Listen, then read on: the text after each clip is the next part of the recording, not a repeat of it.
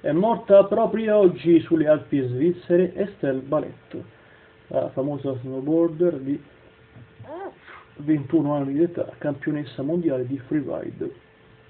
L'incidente si sarebbe verificato poco prima delle 8 sul Portalet vicino a Orsiesers nel cantone Vallesi. Secondo una primissima ricostruzione diffusa dalla polizia cantonale, la slavina si sarebbe staccata dopo il passaggio dello sciatore che precedeva Ballet. Prima dell'arrivo dell'elicottero di soccorso la giovane era stata estratta dalla neve.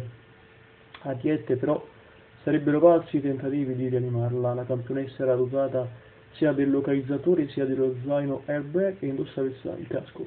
Ballet era considerata un vero e proprio fenomeno dello sci fuori pista e aveva scalato in breve tempo le classifiche mondiali fino a conquistare il Free Ride World Tour. Questo sarebbe quanto, cari utenti di YouTube, il video termina qua.